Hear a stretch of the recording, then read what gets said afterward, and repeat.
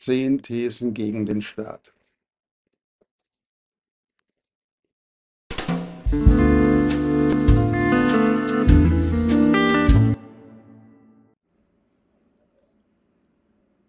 Zehn Thesen gegen den Staat. Zuerst ein Zitat von Max Stirner. Der Staat bekümmert sich nicht um mich und das meine, sondern um sich und das seine aus Der Einzige und sein Eigentum von 1844. Nicht rechts, nicht links, einfach nur libertär. Dieser Text äh, beruht auf meinem Buch Kapitalismus, Sozialismus und Anarchie. Chancen einer Gesellschaftsordnung jenseits von Staat und Politik. These 1. Während der Staat vorgibt, Leben, Freiheit und Eigentum zu schützen, war er seit jeher der höchste Feind von Leben, Freiheit und Eigentum. Die im Laufe der Geschichte vom Staat vergangenen begangenen Verbrechen übersteigen um ein Vielfaches jene, als sie jemals von Einzelpersonen oder Banden begangen werden könnten. These 2. Der Staat ist nicht produktiv, der Ursprung des Staates ist der Parasitismus.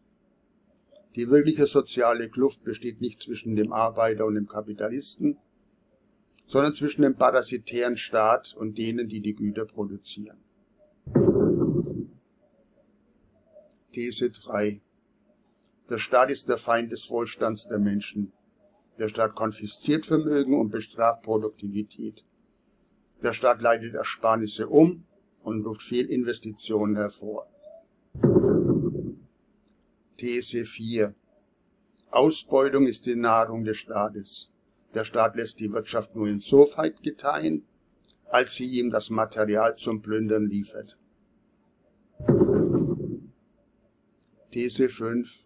Aggression ist die Natur des Staates. Seine Aggression richtet sich gleichermaßen gegen seine eigenen Untertanen wie gegen wirkliche oder eingebildete ausländische Feinde. Der Staat gedeiht durch Krieg und Streit. Der Staat schafft sich seine eigenen Feinde und rechtfertigt damit seine Existenz. Durch das ständige Schüren von Kriegen und Konflikten nach außen und innen erzwingt der Staat die Zustimmung seiner Untertanen. These 7. Der Staat täuscht das Volk über die Legitimität seiner Ausübung von Gewalt und Zwang. Der Staat hat keine andere Autorität als die falsche Autorität, die durch Gewalt entsteht. These 8. Der Einzelne ist der natürliche Feind des Staates. Deshalb wird der Staat alles tun, um das Individuum zu vernichten und den Konformismus zu fördern. These 9. Alle Staaten scheitern schließlich.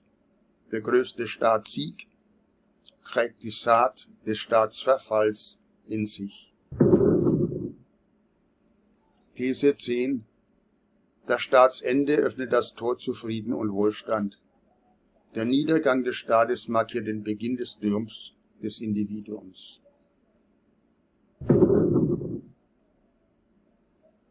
Referenzen ich verweise auf meine beiden Bücher Technokratischer Totalitarismus, Anmerkungen zur Herrschaft der Feinde von Freiheit, Frieden und Wohlstand und Kapitalismus, Sozialismus und Anarchie, Chancen einer Gesellschaftsordnung jenseits von Staat und Politik. Lieferbar bei Amazon Deutschland.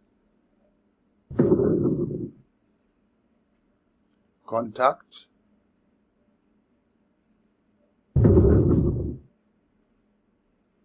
Recht vielen Dank.